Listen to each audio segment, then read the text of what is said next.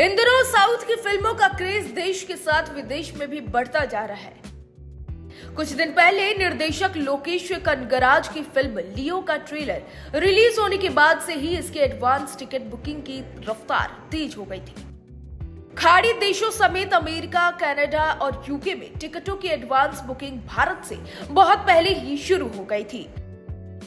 अब जबकि फ़िल्म 19 अक्टूबर को रिलीज़ होने के लिए तैयार है तो वहीं विदेशों से भी फ़िल्म के लिए ज़बरदस्त खबर आ रही है।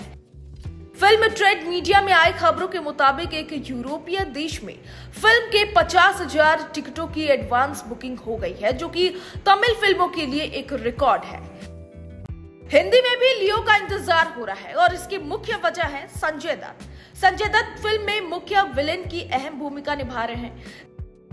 इस फ़िल्म के साथ वो तमिल इंडस्ट्री में अपना पहला डेब्यू करने जा रहे हैं। फ़िल्म में संजय दत्त के सामने फ़िल्म के हीरो, तमिल स्टार दलपति विजय होंगे। वही फ़िल्म तमिल के साथ तेलुगु, मलयालम, कन्नड़ और हिंदी में भी रिलीज़ करने की तैयारी है।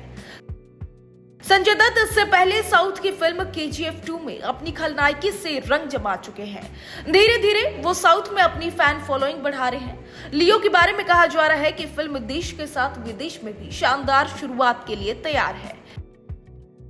तमिलनाडु में 14 अक्टूबर से बुकिंग शुरू होने की खबर है। सबकी निगाहें तमिलनाडु से फ़िल्म के पहले दिन के कलेक्शन पर है।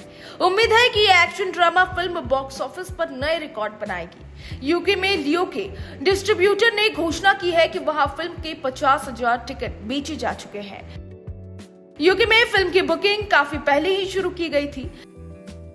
आपको बता दें कि ये फ़िल्म तमिल फ़िल्म की तुलना में ओपनिंग के मामले में रिकॉर्ड बना चुकी है। वैसे पिछले दिनों में फ़िल्म के ऑडियो लॉन्च कार्यक्रम के रद्द होने से निराश थे, लेकिन निर्माताओं ने कहा कि वो जल्द ही एक सरप्राइज़ ला रहे हैं। कहा जा रहा है कि टीम विजय के एक भाषण वाला वीडियो रिलीज़ करेगी।